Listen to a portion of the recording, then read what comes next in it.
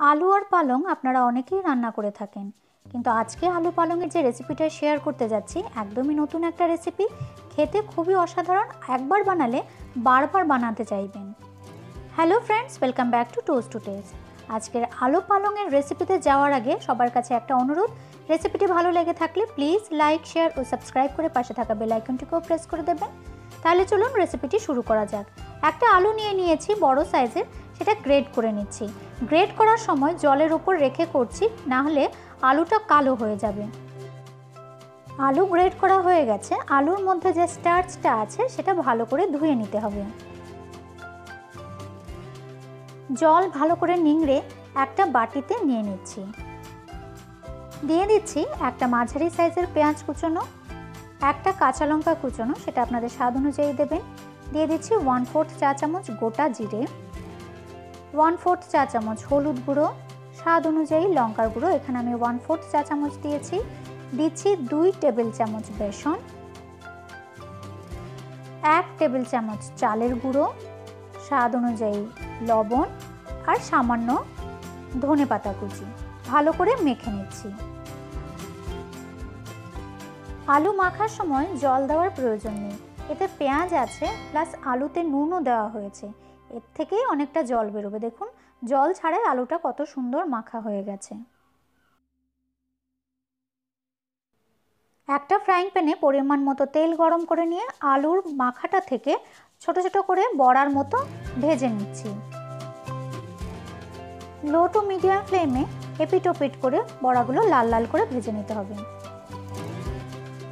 বিকেলে চায়ের সাথে আলুর এই বড়া বা পকোড়াগুলো ইজিলি সার্ভ করা যায়। খেতে কিন্তু খুবই অসাধারণ লাগে। দেখুন, এখানে আলুর পকোড়াগুলো ভাজা হয়ে গেছে।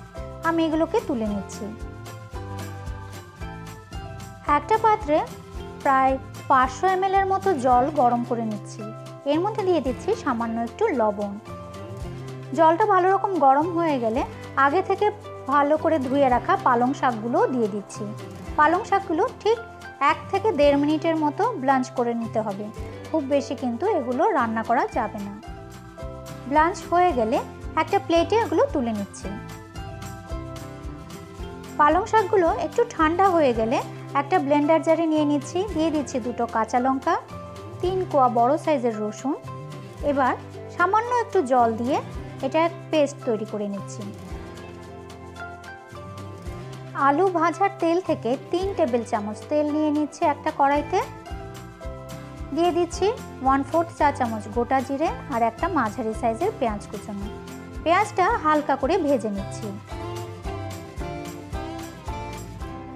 পেঁয়াজ হালকা ভাজা হয়ে গেলে এর সাথে দিয়ে দিচ্ছি বেটে রাখা পালং শাক।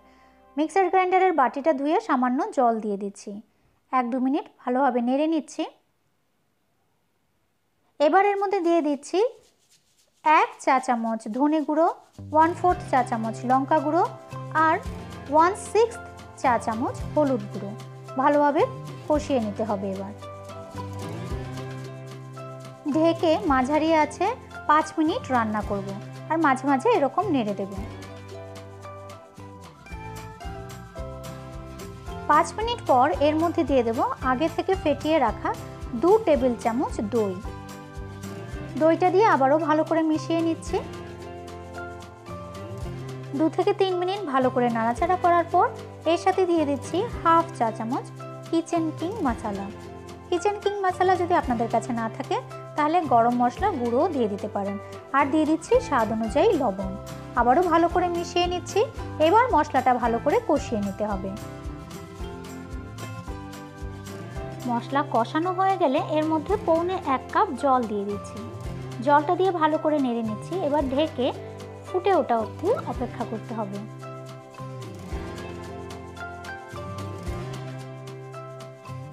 ঝোলটা ভালো করে ফুটে উঠলে এর মধ্যে দিয়ে দিচ্ছি আগে থেকে ভেজে রাখা আলুর বড়াগুলো। বড়াগুলো দিয়ে ভালো করে মিশিয়ে নিচ্ছি ঝোলের সাথে। এবার এর মধ্যে দিয়ে দিচ্ছি কুচনো ধনে পাতা আর ড্রাই রোস্ট করে রাখা কাসুরি মেথি। নুনটা অ্যাডজাস্ট করে নিচ্ছি। এখানে যদি আপনাদের ঝোলটা আরেকটু প্রয়োজন মনে হয়, তাহলে সামান্য একটু ঝোল দিয়ে দিতে পারেন। ভালোভাবে নেড়ে নিচ্ছি, দু থেকে তিন মিনিট আবারও ভালো করে ফুটিয়ে নিতে হবে। ঝোলের সাথে বড়াগুলো ভালো করে ফুটে উঠলে এর মধ্যে এক চা চামচ বাটার দিয়ে দিচ্ছি। বাটারটা দিয়ে ভালোভাবে নেড়ে নিচ্ছি, গ্যাস অফ করে দেব পরিবেশন করার পালা। ভাত বা রুটির সাথে পরিবেশন করতে পারেন। আলু পালংয়ের অভিনব এই রান্নাটি। আশা করছি রেসিপি ভিডিওটি আপনাদের সবার খুব ভালো লাগবে। ভালো লেগে থাকলে প্লিজ লাইক শেয়ার ও সাবস্ক্রাইব করে পাশে থাকা বেল বাটনটিকেও প্রেস করে দেবেন।